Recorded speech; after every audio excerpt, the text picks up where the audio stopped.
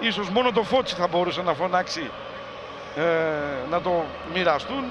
Ένα το κύπελο για το Διαμαντίδη αυτό που σηκώνει τώρα και γνωρίζει την αποθέωση από τους φίλους του Παναθηναϊκού, από τους συμπαίκτες του, από το τεχνικό επιτελείο. Έσπευσε να το δώσει στον Δημήτρη Γιανακόπουλο. Στον προπονητή της ομάδας, τον Τούσκο Ιβάνοβιτς. Και τώρα θα περάσει από όλους τους παίκτες. Πάντως ο Διαμαντίδης επειδή είναι έμπειρος ξέρει να κάνει τα πράγματα με τη σωστή σειρά. Πάντα. Και πάνω στο παρκέ και έξω από το παρκέ.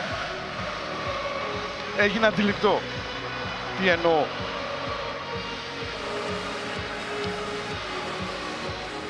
Αυτός ήταν ο πρώτος τίτλος της ε, σεζόν 2014-2015. Ακολουθούν πολύ συναρπαστικές μάχες όσον αφορά την Ευρωλίγκα. Ακολουθούν φυσικά και μεγάλες μάχες όσον αφορά το ελληνικό πρωτάθλημα